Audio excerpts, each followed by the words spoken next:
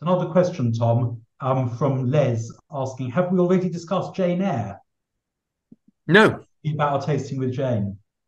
No, we we we were very lucky. Our, our tasting with Jane uh, was was extended in that it was split across two sessions. We uh, Jane uh, arrived for lunch um, uh, when we had uh, some of our Hospice Syndicate members, and we tried a, uh, half a dozen of her 22s then, and then we tried the rest in the winery a few days later.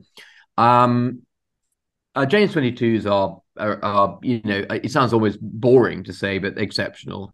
You know, she's she's got such a handle on this vintage. Um, you know, there's um the Jane Jane's wines are never less than uh, elegant, are never less that they, they never present less than kind of plush uh, Soyers fruit.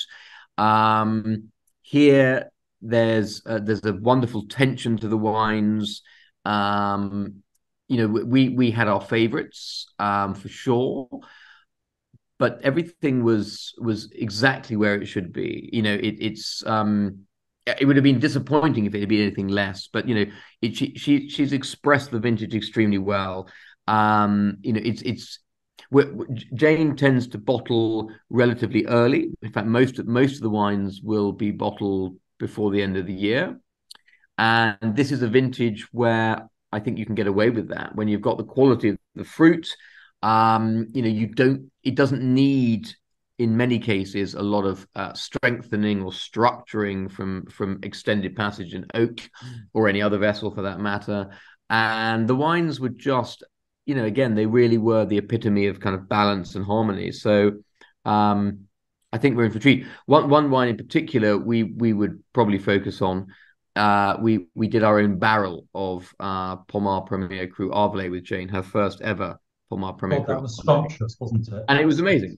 And it was the it was the first time we tried it since um since barrel, and it's now been bottled. And it's I I, I think Jane.